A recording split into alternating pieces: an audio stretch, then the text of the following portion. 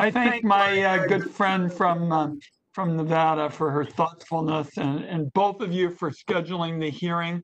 Um, I have a piece of legislation on the calendar, S4189, the Water for Conservation and Farming Act. What we try to do is build on existing programs and then provide new tools to expand, improve, and repair water conservation infrastructure, pipes and sprinklers, and do it with a focus on reducing water use and improving fish and wildlife habitat and trying to make uh, uh, farming um, more efficient. Obviously, farmers and ranchers are very conscientious right now about the resources they use. We're all Westerners, we know that, especially water is the lifeblood of the West. And right now in Oregon, 35 out of 36 counties are seeing at least some level of drought.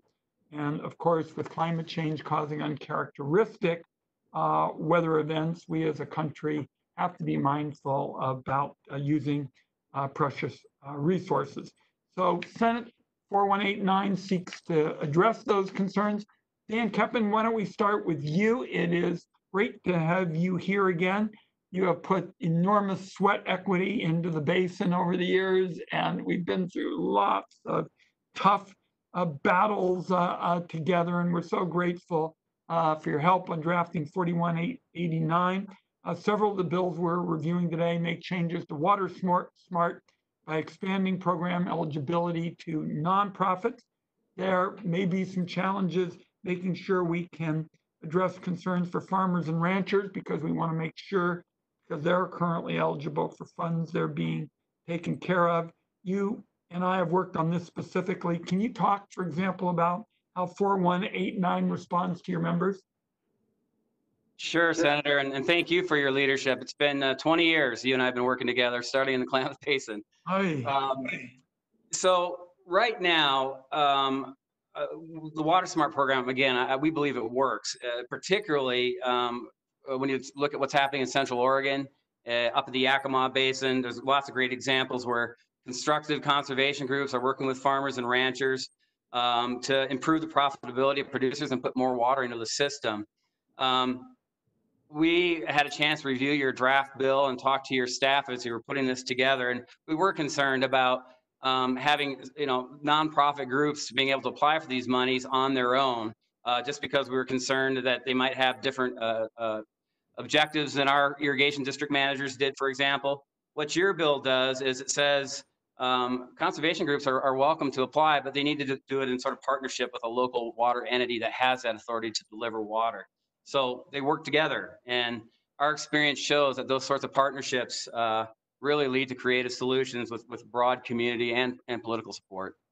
Great. So thank you. Real, real quickly, and we look forward to working with you in our next uh, uh, Oregonian. Uh, Joe Whitworth with the Freshwater Trust as uh, done terrific work all the way through the West, especially in Oregon. They look at multi-benefit water conservation projects and it helps farmers, improves habitat for salmon and, and wildlife. Can you, uh, Joe, walk through some of the provisions of 4189 that would help Freshwater Trust uh, ensure that the water projects that are proceeding um, on the ground generate the maximum amount of environmental benefit for the least amount of cost? We're losing you. We, you may be muted. Thank you, Senator. Appreciate the, the time uh, and the effort uh, to figure out an integrated way to look at water management in the West. Uh, certainly, uh, we can't do one thing without the other.